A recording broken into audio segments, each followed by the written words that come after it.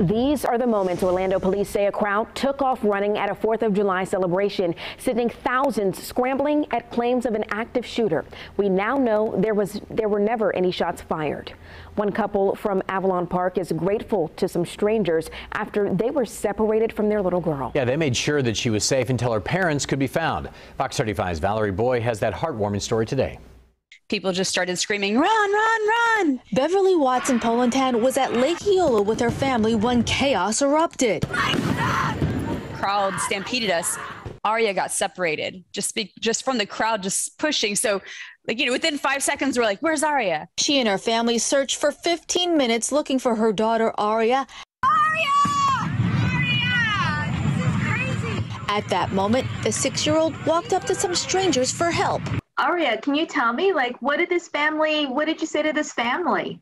That I was lost and I told them how my mom and dad looked, what their name was, and what their phone number was. Aria tells us how the family took her to firefighters for safety. They said just wait here and wait and just in case my mom and dad come. There was a lot of confusion that night as people were uh, seeking safety. Assistant Fire Chief Craig Hewlett tells us about the city's Unification Center. Reunite all of the parents with their children. Very grateful. It's good that they had a location like that. It was 15 minutes, which doesn't sound long, but when your child is missing, it feels forever. She's grateful to the family that helped Aria. What was it about them compared to everybody else that was running around?